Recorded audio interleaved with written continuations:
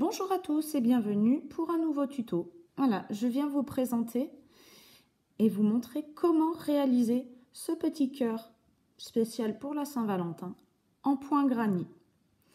Donc voilà, c'est parti.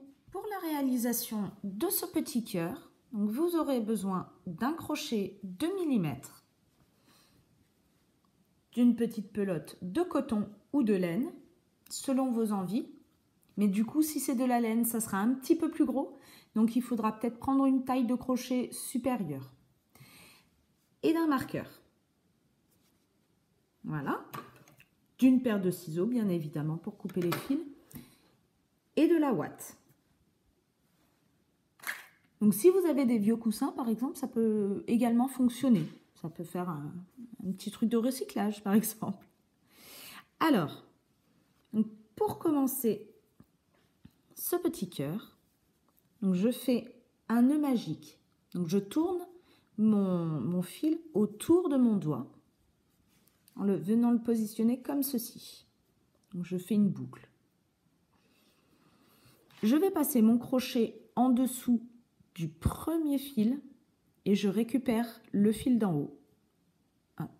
Je tourne un petit peu. Je passe mon fil, je vais récupérer mon fil comme ceci et je le passe dans la boucle. Voilà. Je tire un petit peu. je vais venir faire trois mailles, euh, mailles serrées, non, six mailles serrées, pardon, dans, dans le cercle. Une, deux, trois, quatre, cinq, et 6.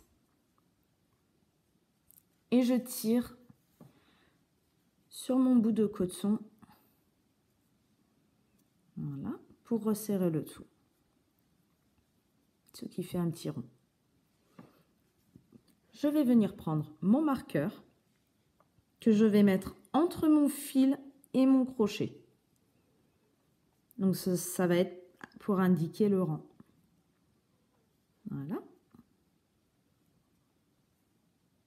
Et donc pour ce deuxième rang, parce que le premier, c'est les six mailles, les six mailles serrées. Donc pour le deuxième, je vais venir faire une augmentation dans toutes les mailles. Donc soit deux mailles serrées dans chaque maille. Donc une,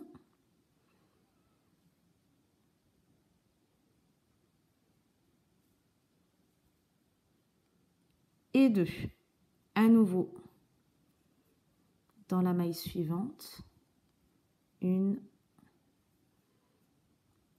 et deux mailles serrées. Donc ainsi de suite. Voilà. Donc le deuxième rang est formé. Donc là, à ce stade, vous avez 12 mailles. Donc là, je vais faire un troisième rang d'augmentation. Donc, je commence dans ma première maille, je fais une augmentation, soit deux mailles serrées dans la même maille. Dans la suivante, je fais seulement une maille serrée. À nouveau, deux mailles serrées dans la même maille. Voilà. Et une maille serrée dans la suivante. Donc ainsi de suite à répéter jusqu'à la fin du rang. J'ai terminé mon troisième rang, du coup, par une seule maille serrée. Voilà, vu que j'ai commencé mon rang par deux augmentations, je termine mon rang par une maille serrée seule. Alors, pour le quatrième rang, je récupère mon marqueur que je déplace.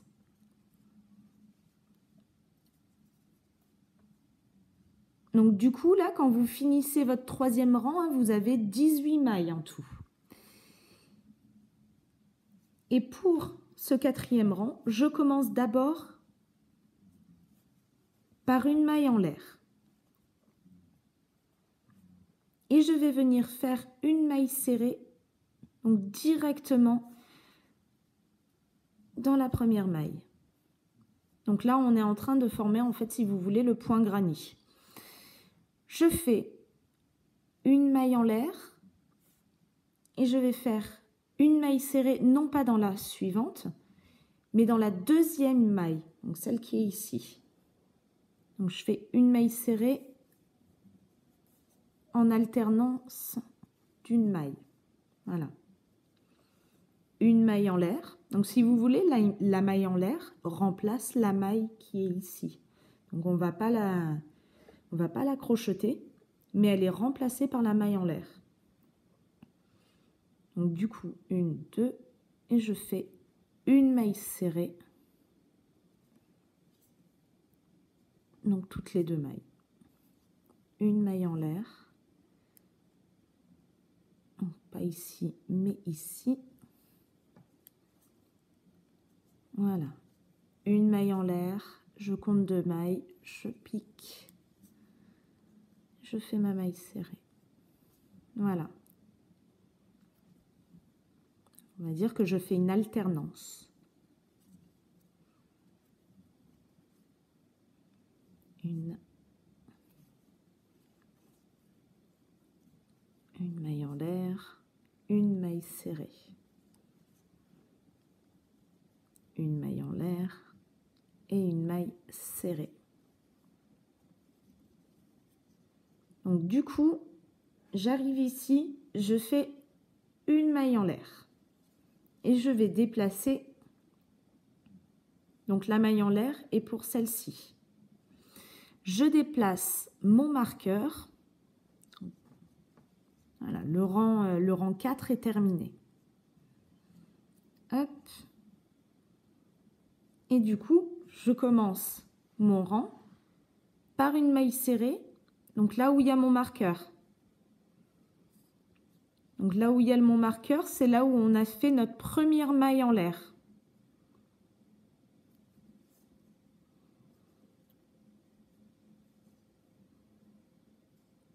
Et je fais ma maille serrée. Donc là, une maille en l'air et une maille serrée. Du coup, pour le cinquième rang, la maille serrée se retrouve en fait sur la maille en l'air du rang d'avant. Donc c'est le principe du point granit.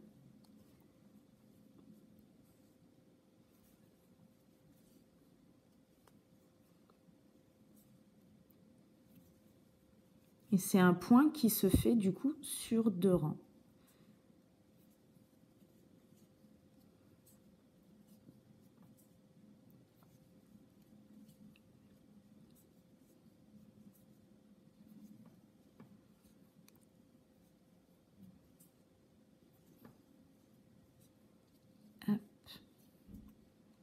Et on arrive à la fin.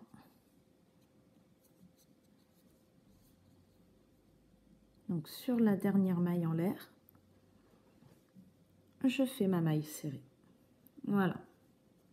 Donc on voit bien se dessiner euh, le point granit. Voilà, donc vous n'avez plus qu'à répéter ces deux rangs. Parce qu'il faut, il en faut quatre. J'arrive à la fin du quatrième rang de granit. Donc là, je n'ai plus qu'à faire une maille serrée dans la dernière maille. Voilà. Je récupère mon marqueur. Je peux couper mon fil. Voilà, et j'ai plus qu'à réaliser le même exactement le même. Donc faites bien attention, il vous faut bien 19 mailles hein, quand vous avez terminé. Si jamais vous avez soit plus de 19 mailles, ça veut dire que vous avez peut-être fait une augmentation quelque part. Donc c'est à tout reprendre. Voilà, mais normalement, euh, si vous suivez bien les instructions, vous aurez bien ces 19 mailles. Donc voilà, plus qu'à en faire un deuxième. Voilà, j'ai les deux hauts de mon cœur. Voilà. Donc là, je vais venir les attacher par un nœud normal.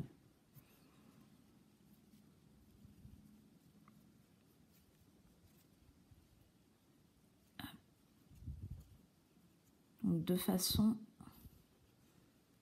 que les deux mailles serrées, les deux dernières mailles serrées de chaque rang soient côte à côte.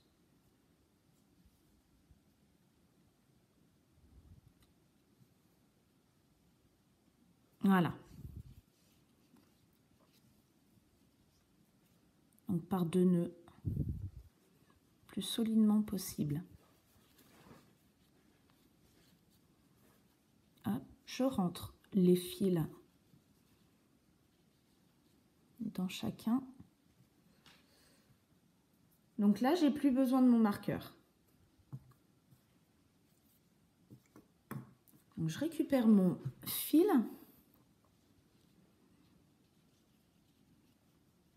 Donc voilà comment ça va être.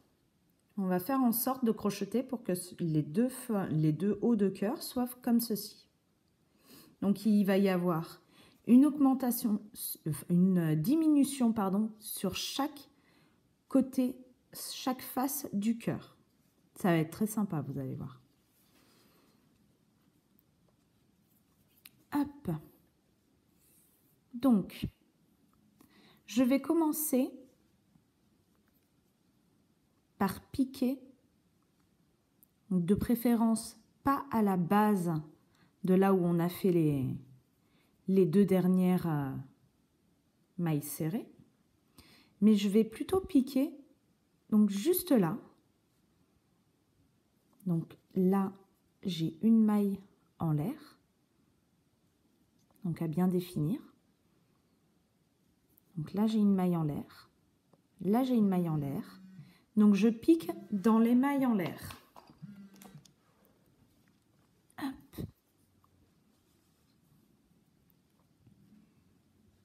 Et du coup, je vais venir faire comme une maille serrée.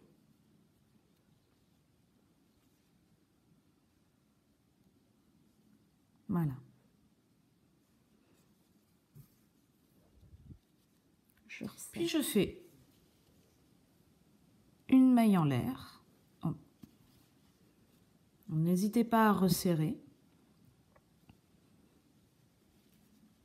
Donc je saute une maille et je viens piquer du coup dans la maille en l'air. Donc suivante. À nouveau, une maille en l'air. Je pique dans la maille suivante. Une maille en l'air. Je pique dans la maille en l'air. Donc du coup, ben, des, des mailles des rangs précédents. Donc je reste sur la lignée du point granit.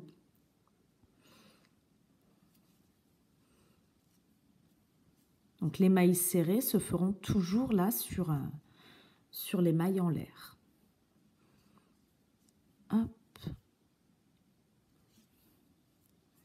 Toujours en alternant. Donc là,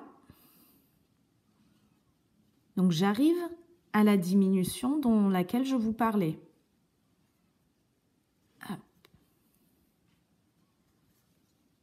Donc pour les diminutions, je vais piquer. Donc je pique en dessous de la maille en l'air. Je viens récupérer mon fil, mais du coup je ne vais pas faire de maille serrée. Je vais passer à l'autre côté. Donc juste là. Donc là où il y a ma maille, il y a ma maille euh, serrée, donc de la fin du rang de ce côté, je pique, je récupère mon fil. Il y en a un qui me gêne.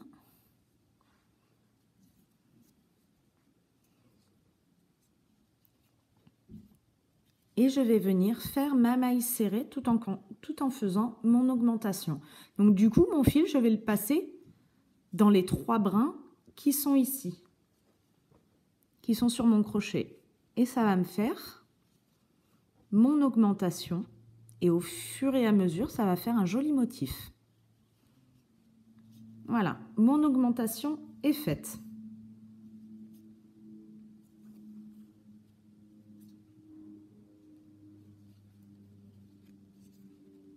Ah, du coup, il me semble que j'ai oublié une petite chose.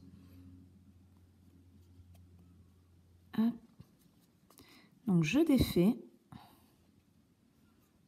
Je défais et heureusement, il faut bien regarder parce que moi j'ai oublié de vous dire que justement il fallait du coup une maille en l'air. Voilà. Il faut une maille en l'air avant chaque diminution. Donc je refais, je récupère mon fil. Hop. Voilà. Et je fais ma diminution. Voilà. Donc là, c'est bon. Et à nouveau, une maille en l'air et je reprends le cours. Hop. Une maille serrée, une maille en l'air, une maille serrée, une maille en l'air, une maille serrée, une maille en l'air, une maille serrée, une maille en l'air, une maille serrée, une maille en l'air. Hop, on arrive bientôt à l'endroit où va y avoir la diminution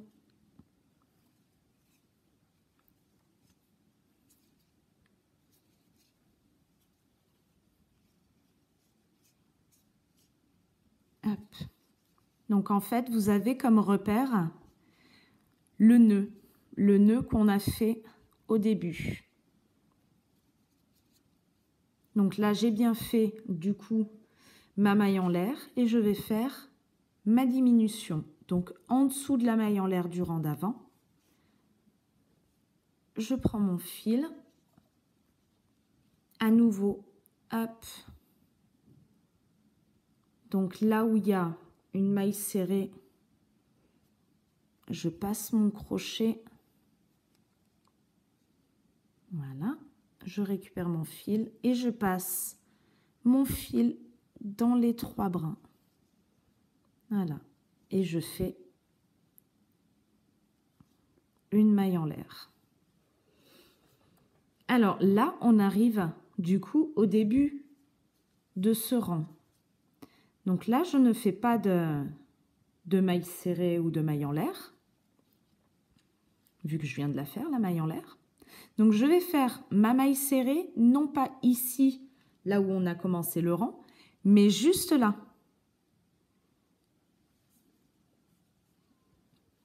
Donc là où on avait fait notre maille en l'air. Donc n'hésitez pas à retirer dessus dans le fil qui est derrière. et je fais ma maille serrée.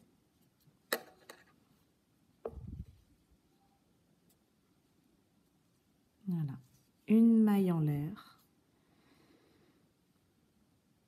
une maille serrée, une maille en l'air, une maille serrée. Du coup, c'est ainsi de suite. Hein.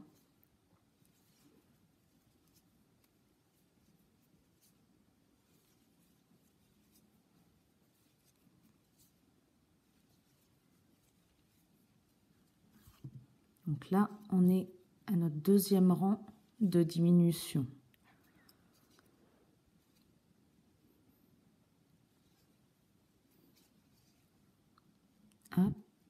Donc j'arrive aux diminutions. Donc ne pas oublier la maille en l'air. Donc là, on voit le motif de la diminution. Donc juste ici. Et eh ben moi, je vais piquer donc là, il y a la maille serrée. Donc je vais piquer juste dans le trou qui est ici. Hop, je prends mon brin. Je vais venir piquer donc en dessous de cette maille-là qui était la maille en l'air qu'on a fait juste après la diminution. Je pique également, je récupère mon fil. Et à nouveau, je fais ma diminution avec ma maille en l'air. Et c'est reparti avec le point granit. Donc si vous voulez, hein, vous pouvez vous aider d'un marqueur avec les diminutions. Mais bon, regardez, au fur et à mesure, on les voit. Donc on les voit. Le motif des diminutions, euh, on les voit bien. Donc il faut se prendre pour repère qu'il faut piquer. du coup, il faut piquer. Donc juste dans la maille en l'air qu'on a fait, qui est avant la diminution, et dans la maille en l'air qui est juste après la diminution. Donc c'est à vous de voir. Si vous pensez y arriver sans marqueur comme moi, vous pouvez le faire. Sinon, vous n'hésitez pas à mettre un marqueur donc euh, à l'endroit où euh, où vous commencez la diminution. Donc juste là. Un de chaque côté. Hop, c'est parti.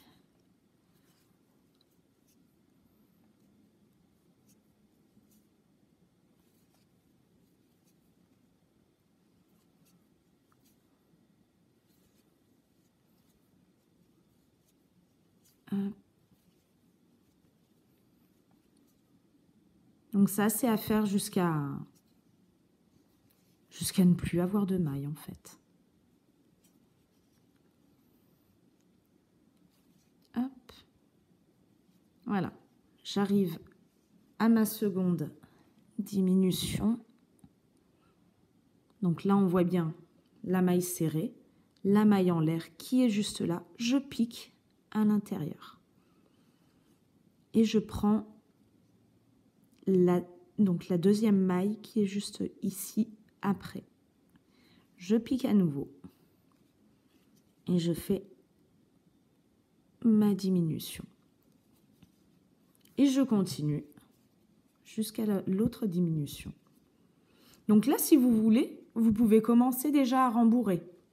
Vous pouvez commencer à rembourrer petit à petit jusqu'à que vraiment ça se retracte et, qu'on ne puisse plus du tout. Donc là, moi, je vais commencer. Donc plus c'est gros pour rembourrer, mieux c'est. Hein.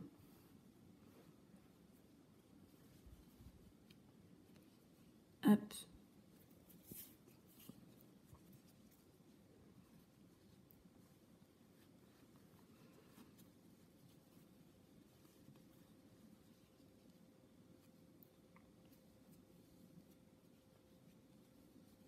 Voilà. Et je vous laisse continuer jusqu'à que ça soit tout petit. voilà ce que ça donne après 4 ans de diminution. Voilà, le cœur se forme petit à petit. Donc là, je vais en profiter pour, euh, rembourrer bien correctement. Parce que sinon, euh, bientôt, je vais plus voir plus pouvoir le faire. Et ça va être vraiment galère. Donc n'hésitez pas hein, vraiment à bourrer euh, petit à petit. Soit assez ferme ou, plutôt mousse. Ça, c'est comme vous voulez. Moi, c'est vrai que j'aime bien quand c'est bien ferme. Voilà. Voilà, c'est reparti pour quelques rangs à nouveau. Donc comme on peut le voir, hein, on voit bien les, motifs de diminution, devant comme derrière.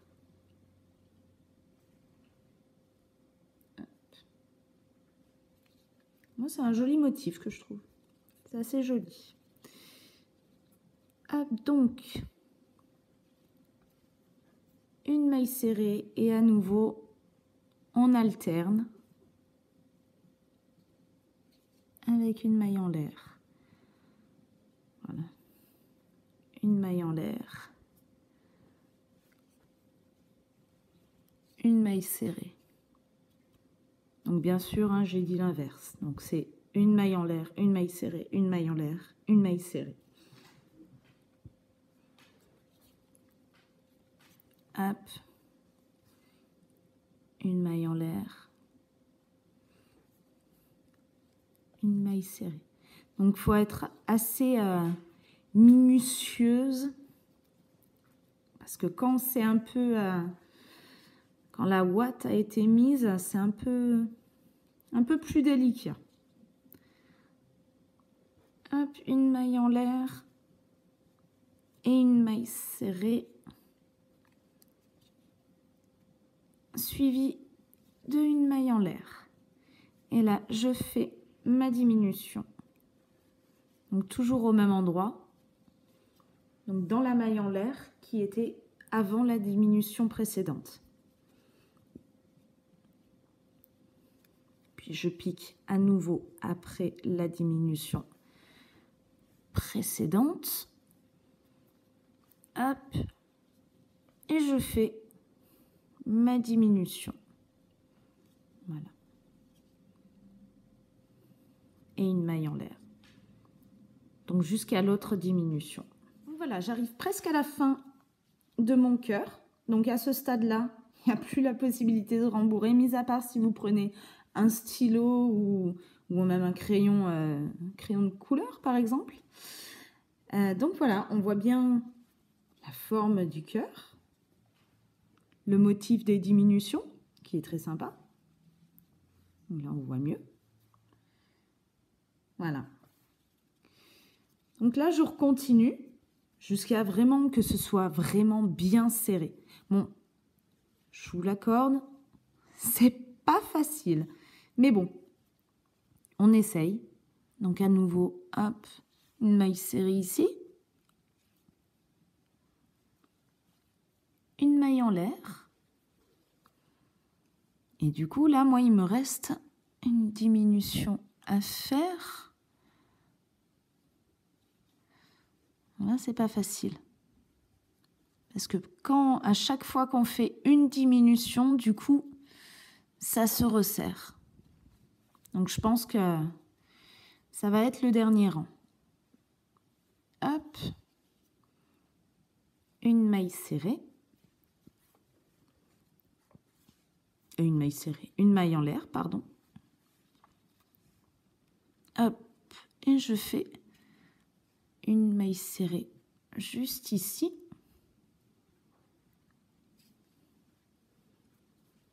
Et du coup, je fais à nouveau une maille en l'air et une autre diminution.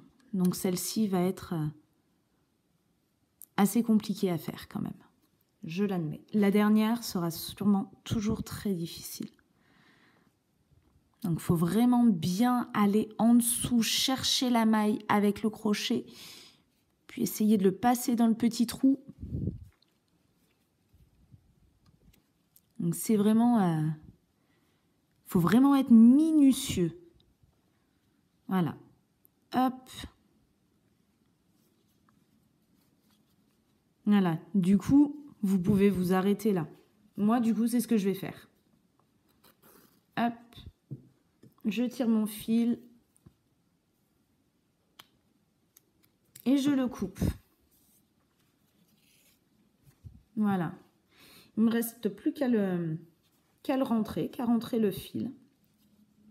Donc si vous voulez, avec le fil là qui vous reste, vous le tirez un petit peu plus et vous pouvez un petit peu euh, coudre le bout afin que ce soit un peu plus rond. Donc voilà. Voilà, j'espère que cette vidéo vous aura plu. Vous a plu, pardon.